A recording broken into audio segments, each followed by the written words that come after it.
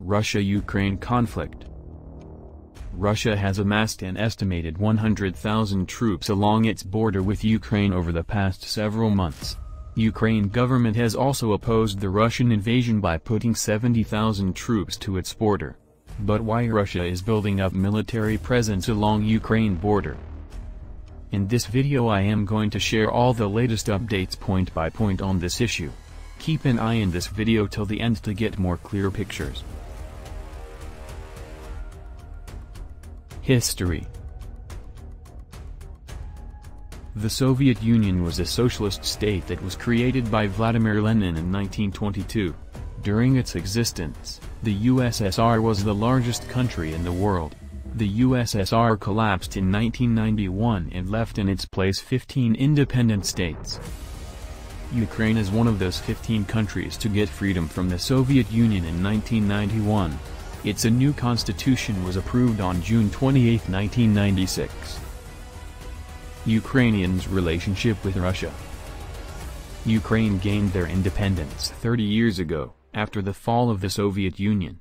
Tensions between Russia and Ukraine reached an all-time high in February 2014, when violent protesters ousted Ukraine's pro-Russian president, Viktor Yanukovych, in the so-called Revolution of Dignity. Around the same time, Russia forcibly annexed Crimea. Putin immediately moved to strike in the Donbas region of eastern Ukraine which led to death about 14,000 people. What do Ukrainians want? Ukraine's government has said it will apply to join the European Union in 2024 and also has ambitions to join NATO.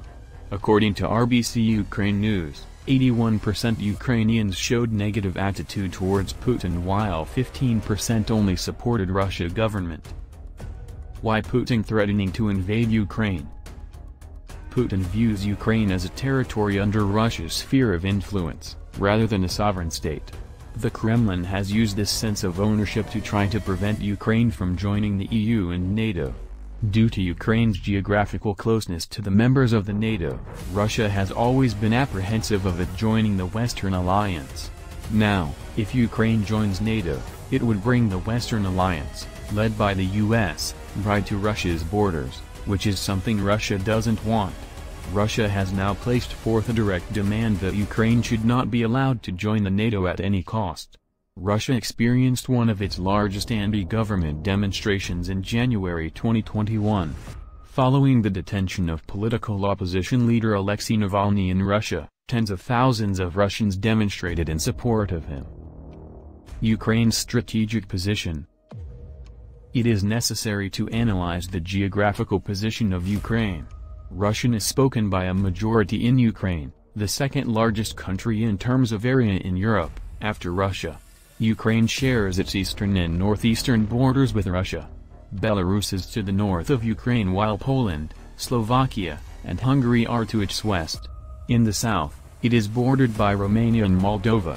It also has a coastline along the Sea of Azov and the Black Sea. So the western part of Ukraine is totally covered by US-led NATO countries. Why US want to get involved?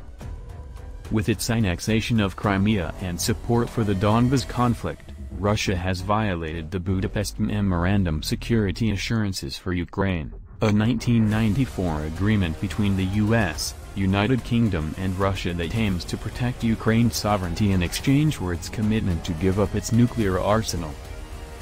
Putin's threats against Ukraine come as Russian military move into Belarus raising worries about the Kremlin's plans to invade other countries in the region.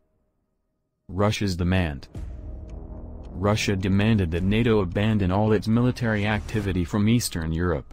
Russia has made it clear that NATO must never admit Ukraine as a member.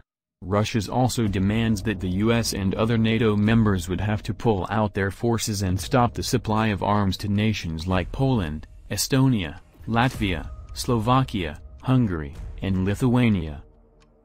It is up to Ukraine and 30, NATO, allies to decide when Ukraine is ready to join the alliance.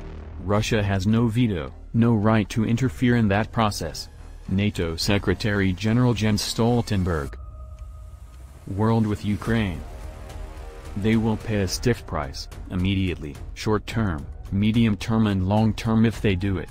U.S. President, Joe Biden. If Russian President Putin chose bloodshed and destruction in Ukraine, it would be a tragedy for Europe. UK President Boris Johnson.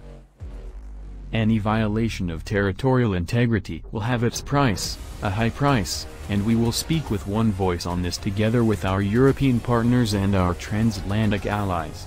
German Chancellor, Olaf Scholz. What India should do.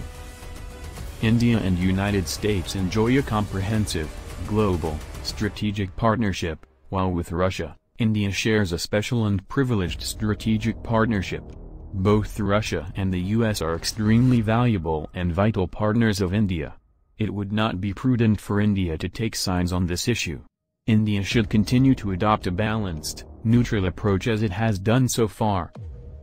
If you guys think this video is informative, then like this video, comment on the comment section, and subscribe my channel. Thanks for watching.